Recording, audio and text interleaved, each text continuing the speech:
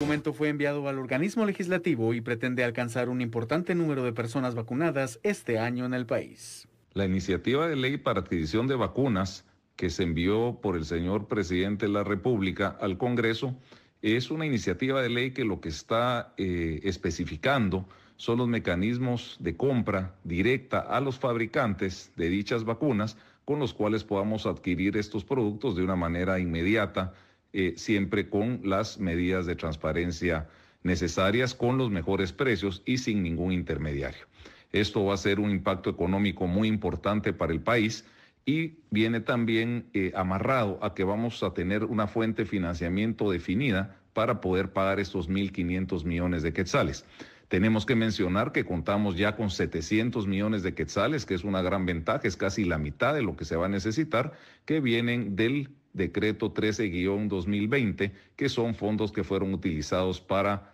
atención del COVID. Estos 700 millones no es una deuda adicional, son fondos que ya se cuentan en el Estado, por lo que faltaría únicamente 800 millones de quetzales, con lo cual estaríamos complementando las compras necesarias. El funcionario reiteró la importancia de aprobar esta iniciativa para avanzar en el proceso de vacunación en nuestro país a la brevedad posible. Hago un llamado también como ministro de Finanzas al Honorable Congreso de la República para que puedan conocer y aprobar de urgencia nacional la iniciativa de ley que recién entregó el presidente, ya que es de suma importancia, es indispensable que nosotros garanticemos la salud de la población a través de que podamos comenzar el proceso de vacunación.